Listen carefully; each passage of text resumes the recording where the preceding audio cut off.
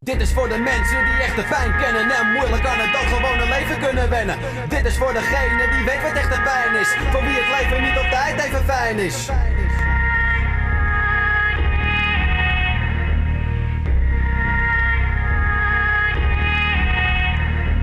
Dit is een moeilijke tekst om te schrijven, maar ik moet een andere zinnen uit mijn hoofd verdrijven.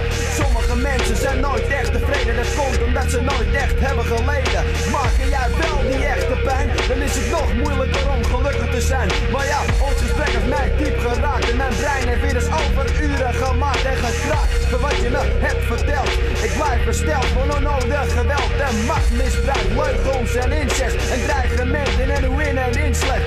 Mensen of eigenlijk monsters kunnen zijn. Pijn wordt in stand gehouden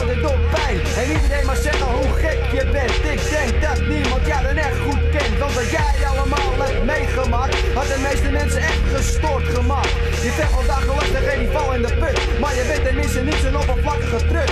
Fuck al die hulp en psychiaters. Zogenaamde vrienden en mooi weerpraters. Wat jij nodig hebt als het van binnen boel.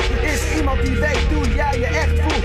Iemand waarmee je pas echt kan praten. Waarmee je bijna alles kan doen en laten. Waarop je kan bouwen en vertrouwen. Zonder dat ze je ziel als een kaart openvouwen. Want zo'n kaart moet je kunnen lezen. En om hem te lezen, dan moet je een wezen.